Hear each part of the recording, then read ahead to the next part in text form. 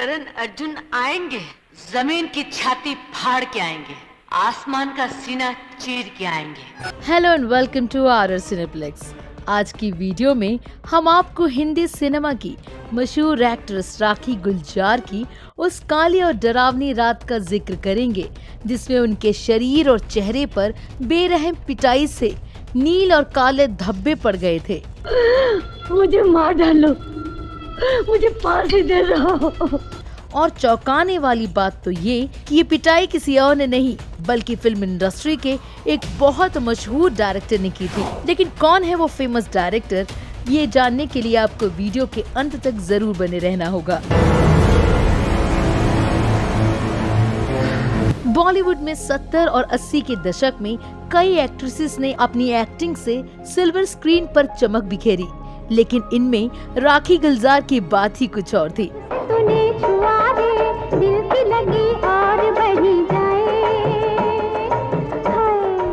Film कभी कभी शर्मीली लाल पत्थर हीरा पन्ना दूसरा आदमी जैसी तमाम हिट फ़िल्मों में काम करने वाली राखी का हर कहीं जलवा था।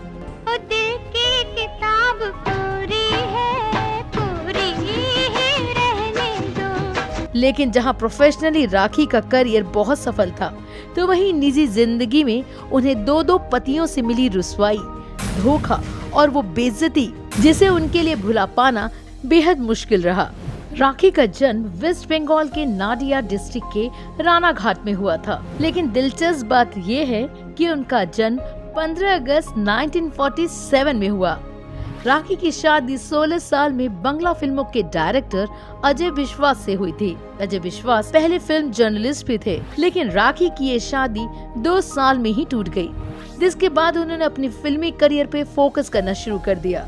हालाँकि राखी कभी भी हीरोइन बनना नहीं चाहती थी, लेकिन घर की कंडीशन इतनी खराब थी कि इसके अलावा उनके पास कोई दूसरा रास्ता ही नहीं था। बरसों इंतज़ार किया मैंने। कभी सड़कों पर कभी मंदिरों में। अपने वक्त में राखी एक्ट्रेस आशा पारी के बाद दूसरी सबसे ज़्यादा फ़ीस लेने वाली हीरोइन थी और उन्होंने 90 से ज़्यादा फ़िल्मों में काम किया।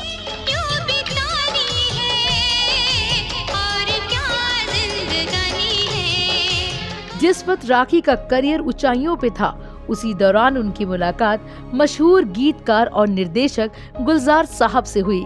गुलजार साहब राखी के बंगाली कल्चर से काफ़ी प्रभावित हुए और इन दोनों ने 1973 में एक दूसरे से शादी कर ली और तभी से इनका नाम राखी गुलजार पड़ गया। शादी के एक साल बाद ही दोनों बेटी मेघना के पेरेंट्स बने और फिर अचानक एक खबर आती है कि राखी और गुलजार साहब एक दूसरे से अलग होने का फैसला ले चुके हैं। दरअसल इन दोनों के अलग होने की कई वजहें थी, जिसका मीडिया में कई बार ज़िक्र हुआ। सबसे पहले राखी की वो ख्वाहिश थी, जिसकी वजह से उनके और गुलजार साहब के बीच दीवार खड़ी हो गई। दरअसल शादी के पहले ही गुलजार साहब ने राखी को साफ़ साफ़ कह दिया था कि वो शादी के बाद फ़िल्मों में काम नहीं करेंगी। उस वक्त तो राखी गुलजार साहब के प्यार में पागल थी, लिहाजा उन्होंने गुलजार साहब की ये शर्त मान ली, क्योंकि राखी को उस वक्त लग रहा था कि बेशक वो दूसरे डायरेक्टर की फ़िल्मों में उन्हें काम करने ना दे। मगर अपनी बनाई हुई फ़िल्मों में तो वो उन्हें ज़रूर रोल देंगे। मगर बाद में ऐसा कुछ भी नहीं हुआ। उस वक्त गुलजार साहब कई फ़िल्मों में काम कर रहे थे। राखी को लगता था कि हो सकता है कि कभी गुलजार साहब उन्हें फ़िल्मों में हीरोइन बनने का ऑफ़र दे ही दे। मगर ऐसा कुछ नहीं हुआ। और इसी बात ने राखी को बहुत परेशान कर दिया। राखी को पता चला कि गुलजार साहब की फ़िल्म मौसम में उनकी कॉम्पिटिटर रही शर्मिला टैगोर को उन्होंने साइन कर लिया है। तो वो गुस्से से आग बबूला हो गई और इसी वजह से दोनों के रिश्ते में दरार आ गई। वैसे तो इस टूटे हुए रिश्ते की कई और वजहें बताई जाती हैं, जिसमें फ़िल्म आंधी की सुचित्रा सेन का भी नाम आता है। कहते हैं कि एक रात गुलजार साहब फ़िल्म आंधी के स्टार्स संजीव कुमार और सुचित्रा के साथ पार्टी कर रहे थे। जहाँ संजीव कुमार ने काफ़ी शराब पी थी और नशे की हालत में उन्होंने सुचित्रा सेन का हाथ पकड़ लिया था, जिसके बाद सुचित्रा काफ़ी भड़क गई थी। मामले को संभालते हुए सुचित्रा की सुरक्षा को ध्यान में रखते हुए गुलजार साहब ने खुद एक्ट्रेस को उनके कमरे तक छोड़ने का डिसीज़न लिया। गुलजार साहब सुचित्रा के कमरे तक गए और उनका गुस्सा शांत करने की कोशिश करने लगे। लेकिन जैसे ही गुलजार साहब सुचित्रा सेन के कमरे से बाहर निकल रहे थे तो वहाँ राखी पहले से ही खड़ी थी। देर रात पति को सुचित्रा के कमरे से बाहर देखकर वो भड़क गई। उस रात दोनों के बीच काफ़ी कहा सुनी हुई और गुस्से में गुलजार साहब ने होटल स्टाफ के सामने ही राखी को इतने थप्पड़ मारे कि उनके शरीर और चेहरे पे नीले निशान पड़ गए। मुझे इस दरवाजे पे मरना मंजूर है लेकिन आपके साथ जाना मंजूर नहीं। राखी अपना अपमान कभी नहीं भूल पाई। अगले ही दिन राखी कश्मीर में चल रही फ़िल्म कभी कभी के सेट पर यशराज साहब से मिलने पहुँची और पहुँचते ही फ़िल्म साइन कर ली। दरअसल यशराज साहब काफ़ी वक्त से इस फ़िल्म में राखी को कास्ट करना चाहते थे और उन्होंने इसके लिए राखी को कई बार अप्रोच किया था।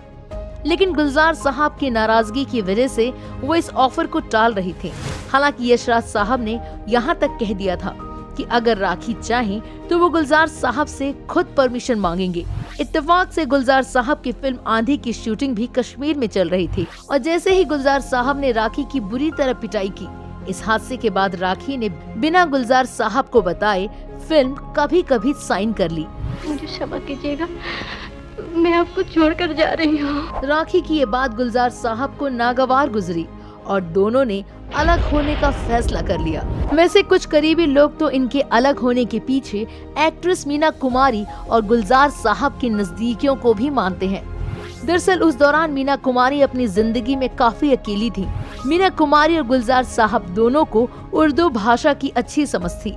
दोनों में अच्छी दोस्ती हुई और फिर दोस्ती प्यार में बदल गई और इन्हीं की नजदीकियों की वजह से राखी और गुलजार साहब के रिश्ते में दरार आ गई। मरने से पहले मीना कुमारी ने अपनी एक शायरी की डायरी गुलजार साहब को दी थी, जिसे बाद में गुलजार साहब ने पब्लिश करवाया था। हालाँकि कानूनी तौर पे राखी और गुलजार साहब का अब तक तलाक नहीं हुआ है, क्योंकि दोनों नहीं चाहते थे कि उनके टूटे रिश्ते का असर उनकी बेटी मेघना के रिश्ते पे पड़े। दोनों ने अलग रहते हुए भी बेटी की परवरिश साथ साथ की। हालाँकि मेघना अपने पिता के साथ रहती हैं और आज भी राखी और गुलजार साहब अच्छे दोस्त हैं।